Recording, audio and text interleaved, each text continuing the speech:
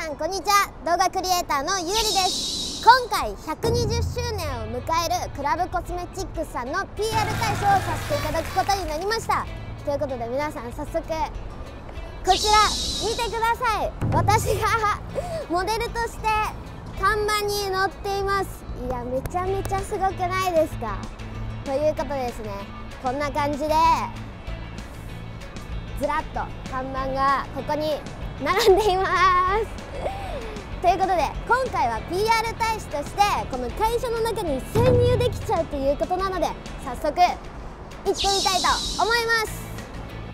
はじめまして。え企画部の研修をさせてもらうことになりました。ゆうりです。よろしくお願いします。よろしくお願いします。お願いします。今ちょうどすっぴんパウダーのリニューアル発売の打ち合わせをしてまして、参加してみませんか？えいいんですか？はいもちろんいいんですか？ぜひぜひ。いやお願いします。お願いします。今これは何を決めてるんですか？今あのリニューアル品のデザインだったりとかバルクとか香り？すっぴんパウダーの中身そうです。よし触ってみます。おおすごい。なんかサラサラしてますね。そうなんです。リニアル品はサラサラするように研究所に依頼してます。こっちは色違い。あそうです。色より肌なじみがいいように肌色ベージュにちょっと近づけた色味にしてます。めちゃめちゃ馴染んでます。はい早速入りましょう。じゃあこの黄色っぽいやつから嗅いでみます。あめちゃめちゃいい匂いする。なるほどなるほど。じゃあこっち。あーなんか 酸っぱい系？気のせいかな。気のせいですかね。でもどれが好きかな？でも個人的にこの2番目に嗅いだこれがめっちゃ好きです。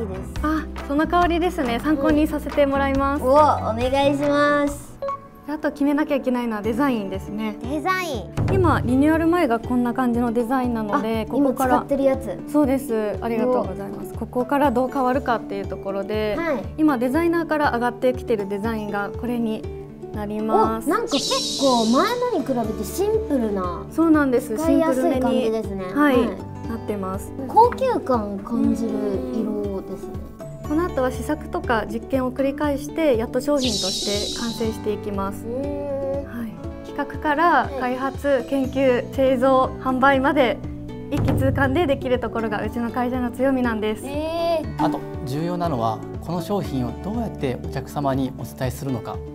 えー最近は TikTok のプロモーションも増えていますのでここはぜひプロのゆうりさんにいろいろと教えてもらいたいです、え私がえ私でいいんですか？まあ、もうぜひともお願いします。全然私でよければよろしくお願いします。ということで皆さん企画編いかがだったでしょうか？今回このような会議に参加させていただいたのは初めてだったんですけどここに置いてあるすっぴんパウダーだったり普段から使わさせていただいていてそれのリニューアル版の会議に参加させていただけたということでいやすごい新しくどんな商品が生まれるのか今からとても楽しみです。皆さんもぜひチェックしてみてください。